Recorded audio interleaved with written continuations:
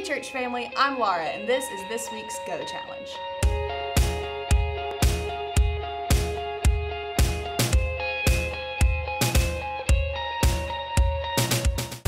In 1 Peter 3:15, it tells us as Jesus followers that we need to always be ready to give a defense for the hope that is in us. And so this week's challenge is to be ready.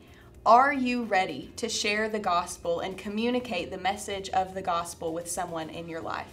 So I'm here today to give you just a short method, a way to do that using the story. The story walks through four different parts of the gospel narrative creation, fall, redemption, and new creation. So, creation, like any good story, begins at the beginning. Genesis 1 1 says, In the beginning, God created the heavens and the earth. We see in creation that God made the world good. Genesis 1:31 says that God looked at everything he had made and that it was very good. And he created us to have a relationship with him and to worship him forever. But then something happened to change all of that. And that is where we see the fall, that sin made the world groan. So man rebelled against God and that created a separation between us and God. Romans 3:23 says that all have sinned and fallen short of the glory of God. And Romans 6 tells us that the wages of sin is death. And so in our sin we are hopeless.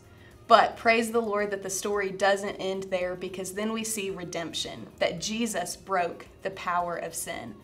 God made a way for us to be redeemed, to be bought back, to be restored into a right relationship with Him. Jesus came, He lived a perfect life, He died on the cross for our sins. But then three days later, He rose again, conquering sin and death and the grave. And we then respond in repentance and faith to what Jesus has done. That is how we are restored. We are redeemed to right relationship with Him. And then when we are in Christ, Scripture tells us that we are a new creation we have new desires, we have new direction, a new purpose, and we are made a part of a new family, the church. 2 Corinthians 5 says that we are a new creation. And then we have in Revelation 21 the promise that one day Jesus will return again and make all things new.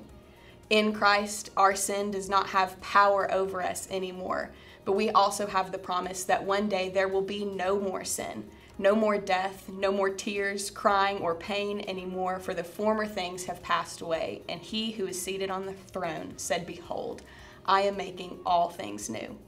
And that is the good news of the gospel. And so, your go challenge this week is to be ready. Be prepared to give a defense for the hope that is in you, to share the gospel message, and call people to respond to the gospel in repentance and faith.